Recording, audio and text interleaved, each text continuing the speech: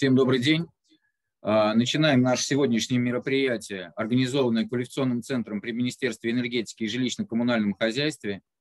А, обучающее мероприятие. Тема у нас сегодня порядок подготовки заявок на энергоэффективный капитальный ремонт. Уважаемые друзья, как вы все знаете, что уже три года владельцы спецсчетов, а сейчас у нас с учетом изменений законодательства и подпадает, а, кто размещен в котле, скажем так, э, мы можем проводить энергоэффективный капитальный ремонт и получать, а, первое, это экономия коммунальных ресурсов. Как мы все понимаем, это у нас основная статья а, расходов по платежным документам. И второе, мы можем получить возмещение с фонда содействия реформированию ЖКХ. Напрямую возвращаются денежные средства а, на дом. В принципе, процедура нам уже достаточно понятна и известная. Четыре многоквартирных дома у нас уже фактически получили возмещение в 2019 году. К сожалению, в 2020 году мы все знаем, какая ситуация была сложная, и у нас дома в заявку не попали. А, в 2021 году докладываю о том, что у нас сейчас уже 6 многоквартирных домов получили подтверждение в фонде конкретную, с конкретной суммой возмещения.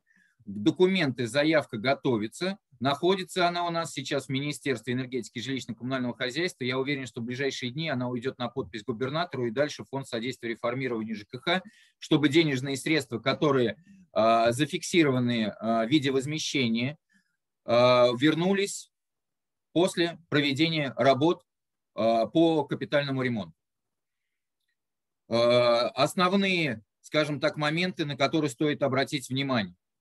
Да, действительно, одним сейчас из самых проходных видов работ по капитальному ремонту, которым подтверждается энергоэффективность свыше 10%, это работы характера замены инженерных систем. А, они однозначно проходят, получают экономию. Мы получаем экономию коммунальных ресурсов, в принципе, в своих платежных документах. Два раза мы получаем себе дополнительные, скажем так, бонусы для того, чтобы нам стало ну, более комфортно и более качественно проживать. О том, что э, более комфортно и более качественно проживать после энергоэффективного капитального ремонта, то здесь, в принципе, вопросов не возникает. А, когда ставится погодное регулирование, то регулирование происходит в соответствии с, внешним, с внешней температурой. А, в доме всегда постоянно поддерживается определенная температура, в которой комфортно проживать. Есть сложности, бывает, с настройкой оборудования, но это все решаемо в процессе а, работ совместно с управляющей компанией, либо с товариществом собственников жилья, в зависимости, какой способ управления у вас выбран. Коллеги, очень внимательно прошу отнестись э, к данному мероприятию. Оно направлено не только для жителей, оно также и для органов местного самоуправления. А у нас сейчас активно, действительно, Тольятти подключилась к этому вопросу, Самара и город Новокуйбышевск другие муниципалитеты. Пока я и понимаю, что там, конечно, фонда меньше, а, который может подойти под энергоэффективность, но все-таки там есть объекты, которые можно выбрать. Порядок а, Далее мы в процессе сегодняшнего мероприятия мы вам озвучим, как нужно действовать изначально, а, как к этому вопросу подойти правильно, чтобы, ну, скажем так, не терять лишнее время, не отрываться там от основной работы. Но действительно, у нас муниципалитеты подключены к этой работе, потому что заявки все-таки проходят через муниципалитет. Я думаю, что эта работа станет с каждым годом все более массовой. Сейчас программа у нас а, распространяется до 2025 года, но по, скажем так, инсайдерской информации уже ведут разговоры о том, чтобы данную программу сделать бессрочной.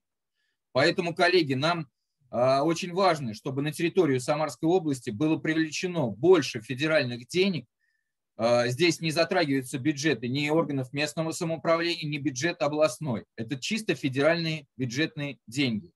Мне бы очень хотелось, чтобы все-таки у нас на территории Самарской области были привлечены деньги в большом, большем количестве. Для примера, а, последние шесть многоквартирных домов, а, которые прошли проверку фонда, которые дали утвердительное заключение, а, в конечном итоге, если не ошибаюсь, у нас дается экономия порядка 16 миллионов. 16 миллионов вернется на, на, а, на счет дома а, после проведения энергоэффективного капитального ремонта, который можно в дальнейшем потратить также на виды работ по капитальному ремонту. Но, конечно же, лучше их сделать энергоэффективными, и у нас уже многие сейчас объекты подразумевают комплекс энергоэффективных мероприятий, пока действует эта программа. Мы с вами проходили программы э, Фонда содействия реформированию ЖКХ по 185 ФЗ. К сожалению, не сразу же мы а, к этой программе отнеслись внимательно. Немного домов в свое время пошли на это. Что в итоге? А, в итоге, когда уже многие дома захотели попасть в эту заявку, условия изменились, условия стали более серьезными, и уже проходимость стала менее. Нужно нам быстрее вливаться в эту программу для того, чтобы быстрее получить денежные средства на территории Самарской области. А, в продолжение разговора хочу передать слово эксперту Фонда содействия реформированию ЖКХ, эксперт по энергоэффективности, который помогает товариществу собственников жилья, управляющим компаниям, в зависимости, где открыть специальный счет, либо люди только задумались проводить энергоэффективный капитальный ремонт, проводят прогнозные расчеты, которые тоже позволяют понять, проходит ли многоквартирный дом в данную программу. А, хочу передать слово Костюнину Александру Петровичу, эксперту Фонда содействия реформированию ЖКХ, который как раз расскажет о порядке подготовки заявок на энергоэффективный капитальный ремонт. Мы с вами понимаем, что такая программа действует, программа реализуется на территории Самарской области, но есть вопросы, которые именно детального характера, на которые стоит обратить внимание. Александр Петрович, прошу на связь, я отключаюсь.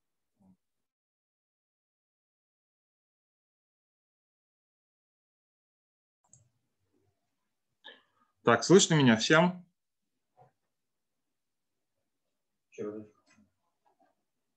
У меня все включено. Все слышно, слышно. А, всем доброго дня. А, давайте, наверное, поподробнее я расскажу о самой процедуре подачи заявки да, и о том,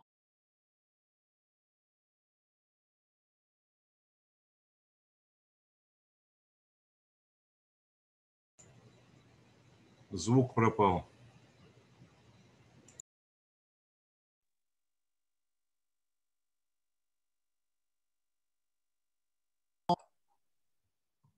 Слышно сейчас? Слышно, слышно. Вот. Значит, э, для того, чтобы участвовать в этой программе, э, нужно понять, э, подходит ли конкретный многоквартирный дом или группа жилых домов для участия в этой программе, скажем так. Какие моменты очень важны, на что нужно обратить внимание, прежде чем, скажем так, готовить обращение и участвовать в программе. А, первое – это а, многоквартирного дома должен быть специальный счет. Это для накопления, для а, накопления средств на капитальный ремонт. На данный момент, где находится этот специальный счет, в принципе, не важно. Да, то есть либо он находится у регионального оператора, либо на ТСЖ управляющей компании. Вот. Главное, чтобы он был. А, почему? Потому что по программе а, возмещение затрат на энергоэффективный капитальный ремонт а, осуществляется именно перечислением на специальный счет. Вот. Значит, на доме есть специальный счет. Второе. Сама программа энергоэффективного капитального ремонта, она рассчитана на то, что ну, на достижение фактической экономии на потребление конкретных трех коммунальных ресурсов. Это тепловая энергия на отопление, тепловая энергия на ГВС и электроэнергия на общедомовые нужды. А, сразу обращаю внимание, а, все виды этой энергии, а, либо ну, они берутся к расчету только в том случае, если они получаются извне. Да? То есть электроэнергия заходит в дом там, от ближайшей подстанции. А, соответственно, тепловая энергия на отопление идет от ближайшей котельной. А, по ГВС это не обязательно, то есть ГВС может быть децентрализованная.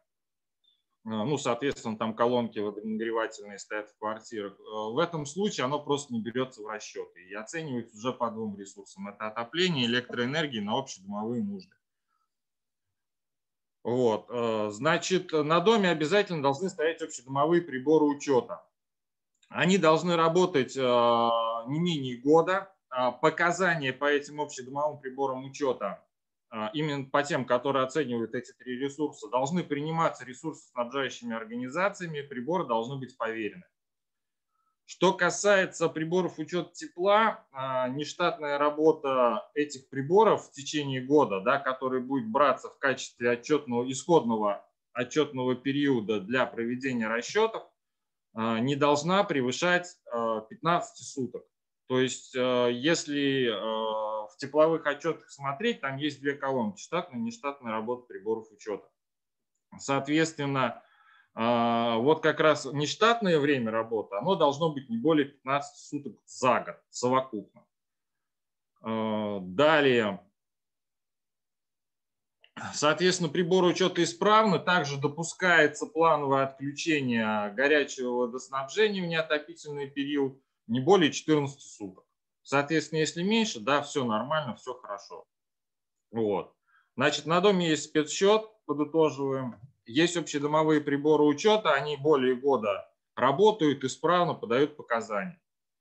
А, далее, а, необходимо, а, скажем так, изучить те сами мероприятия, да, которые проводятся в рамках этой программы. Их 23, они четко зафиксированы. Эти 23 мероприятия энергоэффективных, они утверждены Минстроем Российской Федерации в рамках этого 18 постановления. Э, они, в принципе, описаны в методичках, которые мы активно раздавали. И по запросу, в принципе, в квалификационный центр можете обращаться, либо обращаться напрямую ко мне. Соответственно, данную информацию именно по перечню этих мероприятий я предоставлю. А, для чего э, эти мероприятия нужны? Вы должны оценить, проводили ли вы какие-либо из этих энергоэффективных мероприятий ранее. А, для чего это нужно? То есть а, расчеты а, проводятся, берется отчетный период год по показаниям общедомовых приборов учета, но давность этих отчетов, то есть эти отчеты должны быть не старше трех лет. Ну, живой пример. Год назад вы поставили узел управления системой отопления с погодозависимым регулированием. Это энергоэффективное мероприятие, которое в значительной степени влияет на экономию потребления коммунальных ресурсов, в частности тепловой энергии. А, если учесть, что тепловая энергия занимает, э, ну, на отопление ГВС занимает порядка 90% всех расходов, а, э, связанных э, с оплатой коммуналки, да, то, соответственно, эта экономия она, ну, является существенной. А, как правило, это люди сразу чувствуют в оплате в квитанциях, да, несмотря даже на повышение тарифа. Кроме экономии на коммунальных ресурсах, которые вы получаете, э, соответственно, вот этот процент экономии, вот это мероприятие, да, скажем так, которое э, вы уже провели, его тоже можно включить в расчеты, и в этом случае отчетный период будет браться до первого энергоэффективного мероприятия. Вот. Соответственно, если вы, к примеру, осенью в сентябре 2020 года поставили а, этот узел, смонтировали да, с погодозависимым регулированием, то отчетный период должен браться, а, так, он берется у нас тогда с августа 20, с августа 19 по сентябрь 2020 года. И уже на основании этого периода будут проводиться все расчеты. Значит, следующий момент очень важный. Согласно 18 постановления, там есть очень много нюансов. А, поэтому, скажем так, были серьезные ошибки, да, когда на первоначальном этапе в 2019 году а, там подавалось порядка 30 ТСЖ, и из них в программу попали только 4. А, почему это произошло? Потому что вот кроме тех моментов, которые я ранее озвучил, есть еще ряд тонкостей, определенных этим 18-м постановлением, а, которые, если рассказывать, ну, наверное, времени не хватит. И а, поэтому для того, чтобы понять, сможете ли вы участвовать в программе, вам необходимо обратиться в квалификационный центр ЖКХ энергетики. Соответственно, вы получите два документа для заполнения это опросный лист и анкету. А, вы их заполняете, к анкете вы прикладываете а, тепловые отчеты помесячные с посуточными показаниями за тот отчетный период, год, который вы туда внесли в анкету. И эти документы надо направить в квалификационный центр для того, чтобы можно было провести экспресс-оценку потенциала экономии на конкретном многоквартирном доме.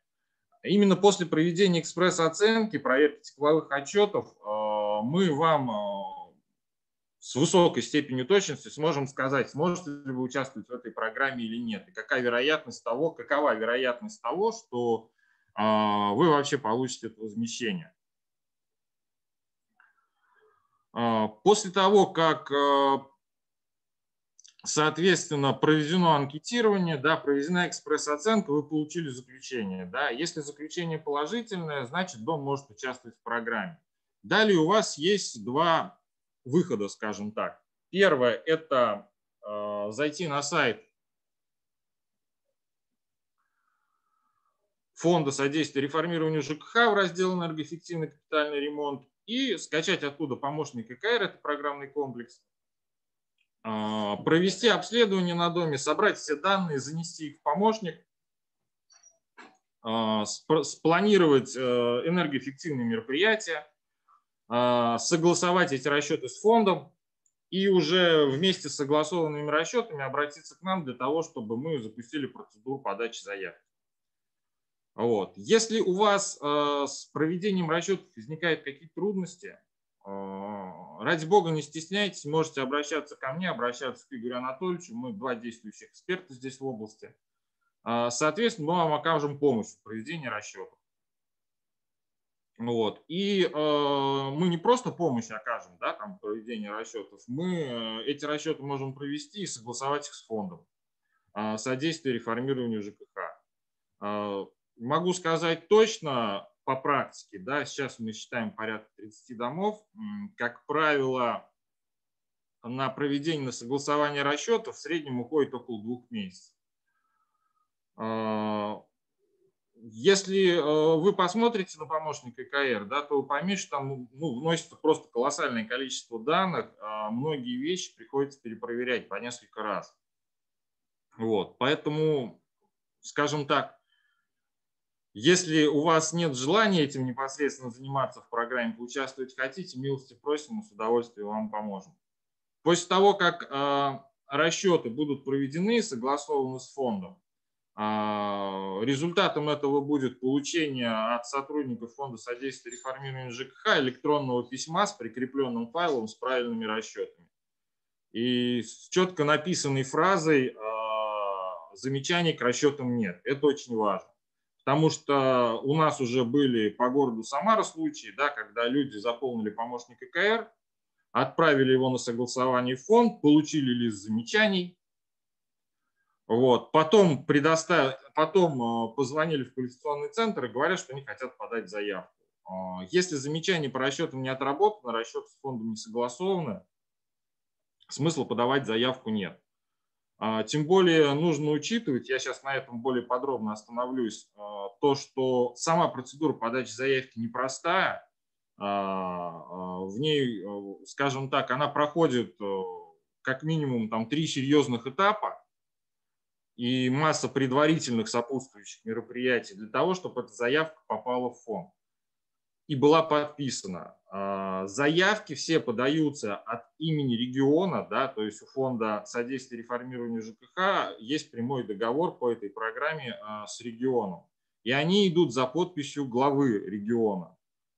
А, соответственно, нести на подпись главе региона заявку, которая заведомо не согласована, ну, не знаю, мы на такие риски не готовы идти.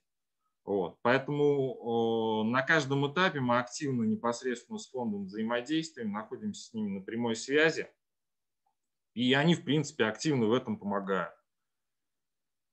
Теперь э, о самом главном, наверное, да, мы, вот как Игорь Анатольевич уже сказал, э, сейчас э, прошли процедуру подготовки и оформлению уже непосредственно заявки по тем согласованным расчетам, которые есть. А, сейчас я вкратце остановлюсь, что должно произойти для того, чтобы заявка была подана. Кроме того, чтобы у вас, что у вас э, появились согласованные с фондом расчеты, в обязательном порядке общим собранием собственников многоквартирных домов должно быть принято решение о проведении энергоэффективного капитального ремонта. Это решение в виде протокола собрания должно быть предоставлено нам. Соответственно, решение должно быть положительным. Вот. А, в идеале неплохо было бы, чтобы уже был заключен договор с подрядной организацией, была известна точная сметная стоимость работы.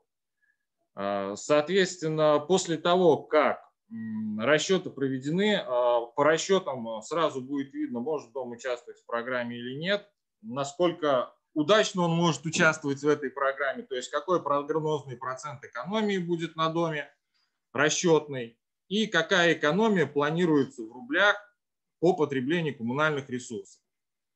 А, соответственно, а, именно этих два показателя, они уже известны, и именно они выносятся на собрание, да, и собственники на основании этих показателей принимают решение, участвовать в программе или нет. После того, как появляется протокол собрания, после этого а, готовится пакет документов. Пакет документов готовится от инициатора а, проведения а, энергоэффективного капитального ремонта и от инициатора участников программы, то есть от владельца специального счета. А, если счет находится у регионального оператора, да, то, скорее всего, этим инициатором будет выступать совет дома, либо ТСЖ, либо они это могут делегировать управляющей компании. Ну и, соответственно, остальные владельцы спецсчетов, это управляющие компании ТСЖ, сами могут являться данными инициаторами. А, значит, в каком виде и какой объем документов подается? Значит, документы подаются в квалификационный центр ЖКХ энергетики. Ну, они непосредственно ко мне поступают. Значит, э, этот пакет документов готовится, мы его готовим на основании методики подачи заявки а, которая утверждена как раз этим 18-м постановлением правительства от 17 января 2017 года. Вот. А, готовится сама заявка, готовится согласно методике приложение к ней. И заявка и приложение подписываются первым лицом либо владельца спецсчета, либо советом многоквартирного дома. Вот. Далее к этой заявке идет пакет приложений. Это очень важный, серьезный пакет документов, там порядка 100 листов. Это те данные, ну, подтверждение достоверности тех данных, которые заносятся в помощник ИКР для расчетов. Это, соответственно, тепловые отчеты, это показания э, общедомовых приборов учета по электроэнергии, как она расходуется на ОДН. Вот. Э, также там прикрепляется технический паспорт, ну и ряд других документов, да, если вы дойдете до этого этапа, мы вам все подробно расскажем. Я думаю, сейчас на этом пока останавливаться не стоит. Вот. И весь этот пакет документов в виде заявки оформляется на главу муниципального образования. А, соответственно, а, во всех регионах это глава муниципалитетов. По городу Самара это идет на имя главы администрации района. А, того или иного района, в котором многоквартирный дом находится. Вот. Эта заявка подписывается, подписываются документы, которые оформляются для а, проведения расчетов, для подтверждения данных по расчетам. Если предоставляются копии документов, соответственно, эти копии заверяются. Вот. И весь этот пакет документов а, направляется в муниципалитет. Э, как правило, он идет в профильный отдел либо департамент. Вот. Э, там эти документы принимаются, на них ставится входящий, на заявке ставится входящий номер. Вот. И после этого весь пакет подтверждающих документов для расчетов остается именно в муниципалитетах. Он нужен для того, чтобы в случае, если будет идти проверка со стороны фонда инициирована, да, и они захотят узнать, какая же фактическая экономия все-таки в результате получилась а, после проведения энергоэффективных мероприятий, да, то будет э, уже готов пакет документов, который подтверждает, что эти данные а, внесены правильно и там достоверная информация находится.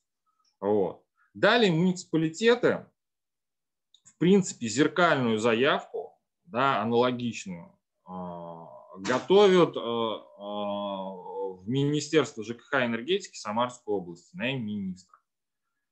Вот. Также желательно прикрепить к этому делу сопроводительное письмо, в котором вы укажете, что документы а, по заявке вы приняли от заказчика, да, ТСЖ, управляющей компании, Совета многоквартирного дома. И то, что они предоставили вам весь пакет подтверждающих документов о том, что расчет, данные в расчеты внесены верно. Вот. Данный документ попадает в министерство, там собирается консолидированная группа заявок, а, после чего а, оформляется, а после этого а, все дома, которые участвуют, ну, которые планируют участвовать в программе, их данные заносятся нами, сотрудниками квалификационного центра, заносятся в информационную систему АИС реформы ЖКХ. Это сайт реформы ЖКХ. Соответственно, там в рабочей области заносится заявка по каждому, делается, делается заявка по каждому квартирному дому, расчеты с помощника КР переносятся туда. А, далее эта заявка в электронном виде в обязательном порядке предварительно согласовывается с фондом содействия реформированию ЖКХ, устраняются все ошибки. Вот. А, и после этого, в принципе, в бумажном виде готовится официальная заявка а, за подписью главы региона со всеми соответствующими приложениями согласно методике а, для того, чтобы подать ее в фонд. Эта же заявка, она в бумажном варианте, опять же, обязательном порядке согласовывается с сотрудниками фонда содействия реформированию ЖКХ, с их юридическим, экономическим отделом, с теми, кто проверял расчеты. Вот. И получив от них подтверждение, после этого приложение к заявке подписывает а, уполномоченное лицо у нас это министр ЖКХ энергетики Самарской области. И сама заявка идет на подпись губернатора. А, на данный момент у нас подготовлена заявка по шести многоквартирным домам. А, общая сумма возмещения, как уже ранее говорилось, это почти 16 миллионов рублей. Сейчас уже на уровне муниципалитетов где-то должны поступить в муниципалитеты, где-то уже в министерство. Ушло еще заявка по четырем многоквартирным домам. Там сумма немножко поменьше прогнозируется, где-то порядка 5 миллионов, а, потому как там и дома поменьше, и состав работ тоже, а, скажем так, а, немножко меньше их проведено. На ряде домов просто до этого, скажем так, с показателями по потреблению ресурсов было все нормально. Вот. И эти четыре дома сейчас заносятся как раз, э, вернее, занесены в АИС реформы ЖКХ и э, в ближайшее время будут отправлены на согласование в фонд э, на правильность оформления именно в электронном виде. Вот. После того, как заявка в электронном виде ее фонд увидел в АИС реформы ЖКХ, после того, как официально подписана главой региона заявка поступила в фонд, у них э, раз в неделю собирается специальная комиссия, которая рассматривает заявки, которые идут со всех регионов. Соответственно, раз в неделю они эту заявку рассматривают и э, делают по ней заключение, то есть подписывают либо нет. А после того, как эта заявка, под... эта заявка подписана, за конкретным многоквартирным домом, это очень важный момент, а, его ну, желательно будет запомнить. Да? После этого за конкретным многоквартирным домом э, закрепляется та сумма, которую они, по идее, должны получить. То есть подписанная заявка, она говорит о том, что ну, все хорошо, вы эту субсидию можете получить. Не субсидию, а возмещение. Но э, что вы должны сделать? Вы должны провести работы и сдать исполнительную документацию в фонд о том, что эти работы проведены в действительности. Вот. Э, соответственно, те изменения в постановлении 18, да, которые были внесены постановлением правительства 2202 в декабре прошлого года, они теперь позволяют, и это, кстати, очень удобно, да, подавать заявку, к примеру, вот вы провели расчеты, подали заявку. Работы вы теперь можете выполнять. Раньше нужно было прям этим же годом сделать работы и до 31 декабря сдать документы в фонд для того, чтобы на следующий год получить возмещение. Сейчас, и это прописано, в принципе, в договоре между регионом и фондом, работы нужно выполнить до 31 декабря года, следующего за годом подачи заявки. Это большой плюс и подспорье в каком плане? В том, что не надо привязываться к сезону или к какому-то ограниченному промежутку времени за год. Да? То есть вы вполне можете сейчас а, проводить спокойно расчеты, спокойно до начала следующего отопительного сезона согласовать, подготовить, провести подготовительные работы, провести собрание, провести подготовительные работы для того, чтобы быстро, качественно выполнить эти энергоэффективные мероприятия в следующем году, а, как правило, их нужно проводить в неотопительный сезон, да, а вы проведете все подготовительные работы в неотопительный сезон, спокойно проведете эти мероприятия и, в принципе, в этом же 2022 году сможете получить возмещение.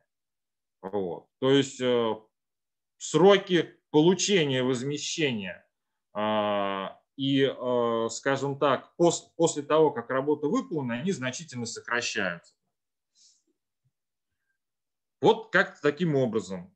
Значит, э, если говорить по срокам именно переведения денег да, на специальный счет, то непосредственно фонду для того, чтобы перечислить деньги, а перечисление возмещения будет идти годом следующим за поступлением, за, за получением заявки. То есть в этом году мы подаем заявку, заявка подписывается, и, соответственно, с 1 января уже 2022 года запускается процедура перечисления денег фонду, по их словам, да, по той информации, которая у нас на данный момент имеется, нужно где-то в среднем 2-3 месяца для того, чтобы деньги попали в казначейство региона.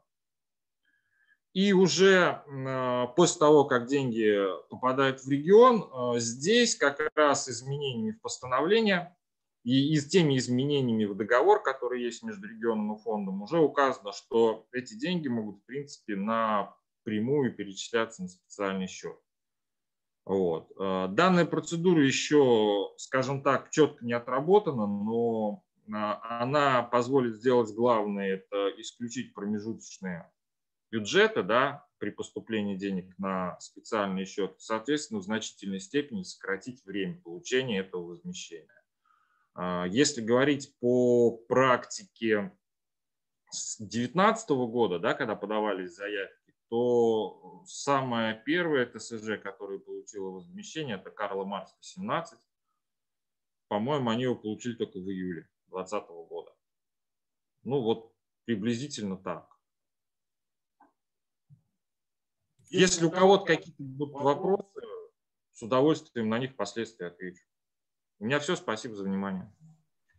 Александр Петрович, спасибо большое а, за такой развернутый ответ. Я думаю, вопросов у нас равно возникнет. А, сразу инфо достаточно непросто это все-таки, но это все возможно. И мы для этого вам готовы оказать всяческую поддержку. Коллеги, я написал номер, номера телефонов контактные, а, но на всякий случай их озвучу. Александр Петрович Костюнин, прямой мобильный номер телефона 8 927 6168 263.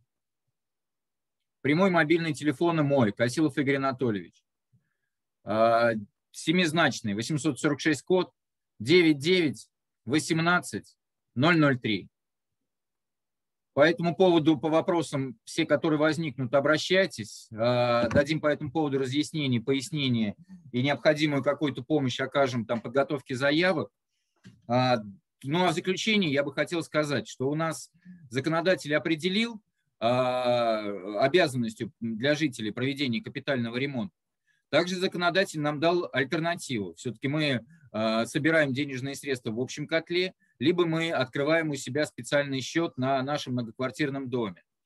К этому вопросу нужно подойти а, действительно очень внимательно, а, посчитать экономику, посмотреть, какой сбор у вас вообще ежемесячный. Многие сейчас многоквартирные дома для того, чтобы поучаствовать в программе, знаю по территории Самары, запустили процедуру перехода на специальный счет, а эта процедура занимает год. А, но все-таки с учетом того временного рамка, который есть сейчас, а, можно успеть еще поучаствовать в программе. Но, как я сделал оговорку, возможно, что эта программа будет бессрочной. А, взгляд Фонда содействия реформированию ЖКХ на этот вопрос. Мероприятия капитального ремонта должны быть энергоэффективными. Это не должно быть просто заделывание, скажем так, э, недостатков, которые образовались в результате проведения работ по капитальному ремонту, чтобы дом становился более привлекательным, более экономически выгодным, скажем так, для нас, собственников. Мы э, очень активно всегда э, внимательно уделяем внимание своей квартире, проводим там дорогостоящие ремонты, но порой не смотрим на общедомовое имущество, которое в доме. Но в итоге хорошая квартира, но э, в не в качественном обслуживающем доме, без энергоэффективных мероприятий, стоит рыночная цена ниже, а, чем там, где есть все-таки более комфортно и более привлекательно проживать, и есть определенные мероприятия были проведены до.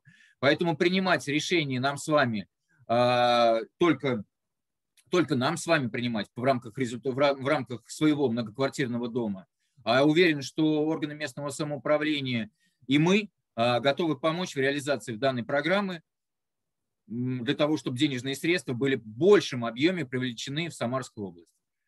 Ну вот на этом моменте хотел бы остановиться. А, данная запись будет размещена а, на страничке в YouTube, я думаю, с завтрашнего дня, на страничке YouTube Квалификационного центра при Министерстве энергетики и ЖКХ. Посмотрите ее, распространите ее среди э, своих коллег, э, по всем вопросам обращайтесь. В принципе, спасибо за внимание. Всем хорошего дня, будьте здоровы. До свидания.